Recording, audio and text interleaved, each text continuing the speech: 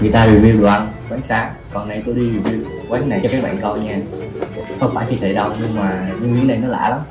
Nó kỳ cục gì đâu á. Quán này bao nuôi hơn 40 nhân viên lận. Nhân viên chảnh lắm. Vô nói chuyện quá trời mà không thèm ai trả lời lại hết trơn. Mới em tên gì ngày mới đâu. Em này nữa Em không mặc đồ như vậy. Vô thời gian quán này của nó cũng lạ lắm nha. Một số nhân viên thì ăn mặc rất là lịch sự tiếp khách nhiệt tình. Một số khác đi làm mặc đồ công chúa đồ nữ sinh nhật bản cosplay Fomewe, Chanel, Gucci, Balenciaga đồ. Đi đứng mà được đâu siêu mẫu không á. Đang làm việc ngủ bắt lưỡi. Giờ làm việc mà còn đi cận non cũng bán đồ hải sản. Và đưa khách ăn tôm tưởng đâu ăn chung ai nghiệp khách đúc chứ này là mức độ xúc động của khách không lấy ở đâu. Ăn trong giờ làm việc thì thôi không nói luôn đây còn chơi cỏ chơi ngã trong giờ làm việc nữa chứ.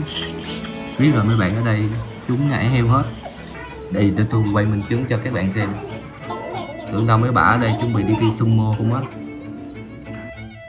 bỏ 98 cành ra đi ăn buffet đồ ăn vặt không giới hạn với hơn 30 món ở trung tâm quận nhất. Thì nhân viên phải chịu khách chứ.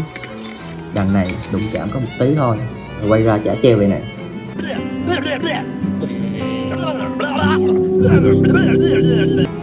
tức quá. Lần sau phải rủ thêm họ bạn đến mới được.